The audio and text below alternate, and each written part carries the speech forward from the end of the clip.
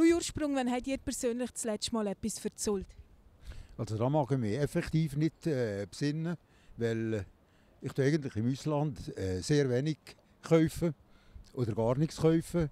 Und das, was ich aber da einnehme, das ist im Bücher, das wir so nicht versollen.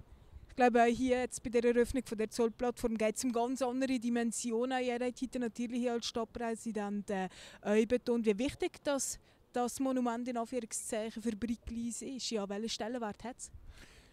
Ja, Bricklis ist ein Zentrum und Bricklis ist aber nicht nur ein Bildungs- oder ein Dienstleistungszentrum. Bricklis ist auch ein Verkehrsknotenpunkt. Ist das in der Geschichte gesehen? Ist das heute und wird es in Zukunft sein? Einerseits mit dem Simplo-Tunnel, andererseits mit dem Simplo-Pass. Es ist ein Tor zum Süden und damit ist natürlich für die Zentrumsfunktion auch zu bestätigen, die Anlage hier für die Stadtgemeinde sehr wichtig in einsteigst. Man sieht leider auf dem Video nur gerade einen kleinen Ausschnitt. Äh, wie gefällt dir auch persönlich Louis Ursprung? Also, das Werk räumt seine Meister architektonisch absolut perfekt. Es ist auch für die Stadt eine Bereicherung, dass wir eine schöne Eingangspforte haben.